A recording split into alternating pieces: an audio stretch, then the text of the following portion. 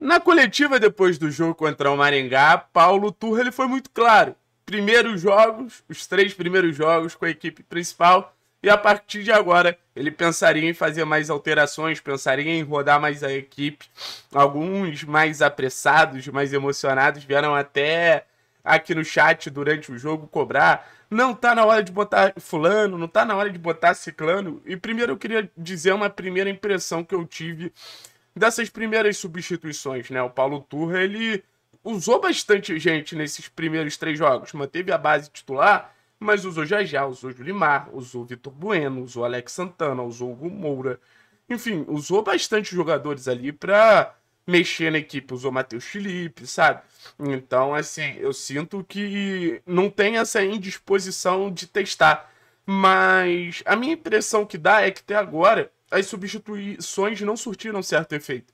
As substituições, elas mais desfiguraram algo que podia não ser a melhor coisa do mundo, mas era algo muito organizado, era um time muito organizado. E depois das substituições, eu senti que desorganizou. Eu senti que as substituições elas não foram produtivas e muito pelo contrário, atrapalharam. Não problema de um jogador especificamente, mas eu acho que o Atlético ele é muito certinho ali nas posições e características certas.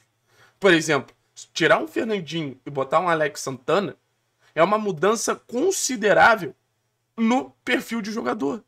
O Fernandinho é um cara mais ritmista, mais cerebral. A assistência que o Fernandinho deu hoje deixou muito claro qual é o perfil de jogador que ele é. Esse cara é capaz de editar o ritmo do jogo. O Alex Santana não. É o cara da intensidade, é o cara da transição, é o cara da força. Que também pode ser muito importante para o time. Mas o perfil é diferente. Então, se seu time é escalado para ter um Fernandinho, quando você não tem um Fernandinho e tem um jogador de um perfil diferente, eu acho que você desconfigura uma situação ali. Mesma coisa, por exemplo, substituir o Canóbio pelo Jajá. O Jajá pode ser habilidoso, pode ter um contra um, pode ser um cara incisivo. Até mais eficiente que o Canóbio em algumas situações. Mas o Canóbio é o cara da pressão, é o cara que incomoda, é o cara que tira espaço. Então, assim, você vê como oscila ali o perfil dos jogadores, a característica dos jogadores. Então isso vem me incomodando um pouquinho. Mas vamos falar um pouco dos jogadores que eu gostaria de ver jogar, né? Gostaria de ver uma minutagem maior, porque é no Campeonato Paranaense que a gente vai poder realmente ver a minutagem maior para esses jogadores. E o número 3 desse ranking de 3, né? É o Christian, cara. Assim, eu tenho muito medo de não ver o Christian recebendo as chances que ele merece por ser um cara fisicamente menos favorecido do que outras peças. O Gumur é melhor fisicamente que o Christian, o próprio Alex é fisicamente melhor que o Christian.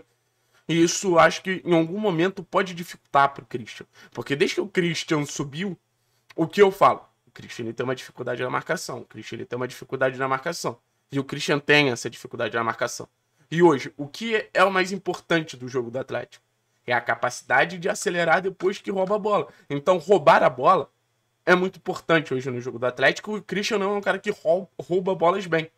Mas é um cara que, se você tiver do lado do Christian jogadores que roubam a bola bem, ele consegue qualificar muito sua posse de bola. Ele consegue fazer o seu jogo ser muito mais coerente, muito mais consciente. É um cara que sai bem da pressão, é um cara dinâmico, se movimenta muito através da, da dinâmica ali num jogo curto. Vem, toca, passa, vai, toca, passa.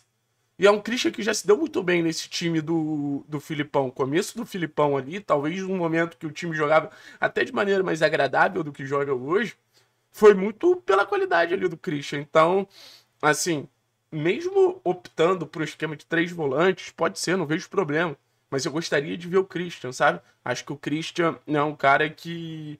Assim, eu fiquei muito triste quando ele foi vendido pro Bahia. Eu entendo que o Atlético tem uma maneira de jogar, que o Christian pode não ser esse match perfeito, mas a gente não pode desistir do Christian. A gente tem que dar um jeito do Christian se adaptar. A gente tem que dar um jeito do Christian fazer acontecer. E acho que ele é focado o suficiente, é um moleque de uma cabeça muito boa para conseguir se adaptar a esse cenário do Atlético. Porque é um cara de transição rápida, é um cara que pode dar ali uma dinâmica muito boa, meio campo, boa finalização, infiltra bem. Por exemplo, ah, quero jogar com o time reserva. É o Hugo Christian Alex, cara. É o Hugo Christian Alex, sabe? Você tem um meio campo ali muito complementar. Beleza? o número dois, eu queria ver muito o Fernando, cara. Eu queria muito ver o Fernando, jogador que foi contratado para substituir o Abner, né? É um jogador que eu sinto que vai ser titular, querendo ou não. Esses primeiros jogos do Pedrinho me deram muito mais certeza que o Pedrinho ainda é um jogador muito imaturo do que a certeza que o Pedrinho é um cara que vai tomar conta da posição.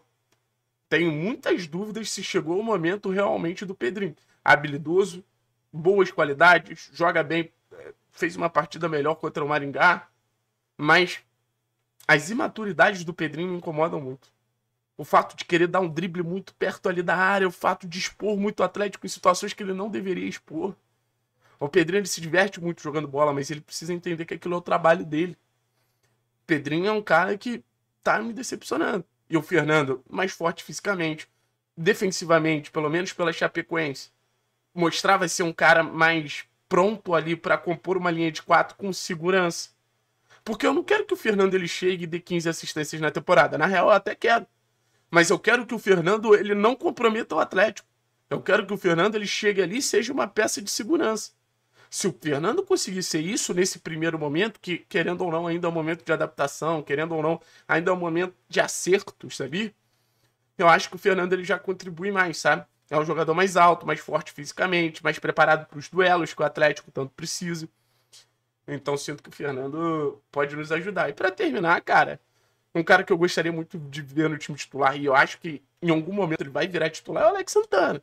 O Alex é um cara de muita força física, o Alex é um cara muito bom na transição. Muito, muito, muito bom na transição. É um cara de duelos muito fáceis ali para ele ganhar. Seja, pô, o Bento vai dar um chutão. É um cara que consegue ganhar muito bem ali os duelos. Acho que ele te entrega uma intensidade interessante ali pro meio e é um cara pronto para qualquer contexto. É um cara pronto para jogar o Paranaense, mas é um cara pronto para jogar o campeonato é, da Libertadores lá contra o Estudiantes fora de casa. Ou para fazer um gol importante numa semifinal de Libertadores. Eu sou sou bem fã do Alex, cara. Eu acho que o Alex ele entrega o que o time precisa: força física, transição, capacidade de uma marcação mais agressiva, finalização de fora de área. Nas características ali do Alex, eu vejo. Confesso que eu vejo muito valor. Confesso que eu vejo muito. Não vou falar talento, porque são características um pouco mais burocráticas, mas eu vejo muito acréscimo que ele entrega ali ao time do Atlético, sabe? Então, é um jogador que eu gostaria de ver minutos começando um jogo. Porque quando ele entra ao longo do jogo, eu acho que a rotação é diferente, que a questão é. Ela acaba sendo outra, sabe? Mas é um bom jogador. É muito bom jogador. Os três são, né? Então, assim, caçando num time totalmente reserva, talvez eu possa ter um vídeo falando sobre isso, mas quem sabe Léo Link, Madison, Matheus Felipe, Zé Ivaldo e Fernando. Aí Hugo Moura, Alex Christian, Jajá, Rômulo e Vitinho, sabe? Pode ser um time interessante, talvez se o Coelho estiver à disposição. O Atlético tem elenco, o Atlético tem opções para girar e, e pro Paulo Turra ir testando. Tem o Vitor Bueno também, pode ser já já pela esquerda, Vitor Bueno pela direita e Romo centralizado. O importante é usar o Campeonato Paranense para evoluir, usar o Campeonato Paranense para ter minutagem. Não importa se impor contra esses times. Não importa como você joga contra o Maringá. Mas se você consegue entender um mecanismo ali para jogar contra o, o, River Plate na semifinal da Libertadores, você usou bem o Campeonato Paranaense. Não adianta você querer ser o, fodão do Campeonato Paranaense. Você tem que ser o fodão da Libertadores. Você tem que ser o time grande na Libertadores. Ser time grande no Campeonato Paranaense, o Atlético já foi muito tempo. Óbvio que eu quero o título. Mas eu quero sair do Campeonato Paranaense pronto para a temporada. Isso é o que eu mais quero.